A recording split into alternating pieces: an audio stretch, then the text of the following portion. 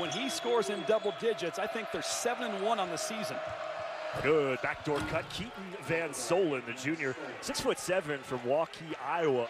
Merrill to kick out in the near corner. This is Diogo Brito. Alphonso Anderson, the offensive rebound, in the reverse lay-in. Second chance points for the Aggies. And a lot of teams have a difficult challenge with it. Five on the shot clock for Merrill, who's still scoreless. Here's Brock Miller, squares up and drains the three. Referee, Mike Cyphers, looking at the footwork. I didn't get a close enough look at it to confirm, but Mike Cyphers does a great job. Oregon. I know. But Scott Drew does have himself a squad. I think he's still got to keep the Zags number one. Brito from three, one of two Portuguese players on the team. 31 points, 11 rebounds two weeks ago when these two teams met.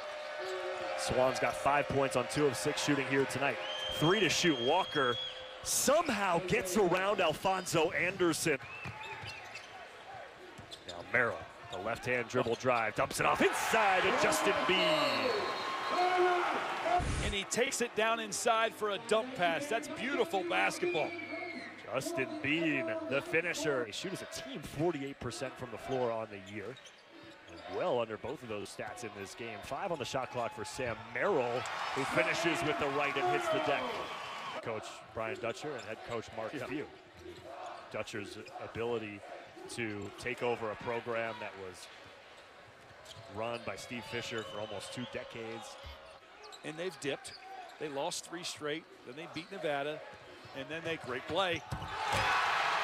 It didn't count the first time, but it sure does that time. What happens on press breaks ends up being three on two, two on one, and we have a guy like that in Kate just with three and a half to go. So trust me, Craig Smith's on his guys and trying to teach them how to close. And that's been the message all week since that game, or the last couple of days, I should say.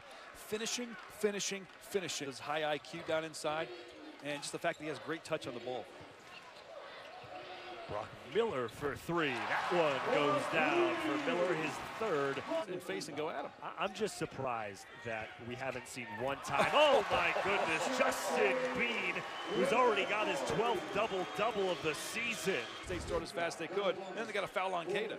But look at that, I just love it. Over the top of two guys. To recognize what they wanted to do, obviously, is that young, but also the commitment they're making to not only the school, but their country as well. Takes on Wyoming next Tuesday. We will be there in Laramie.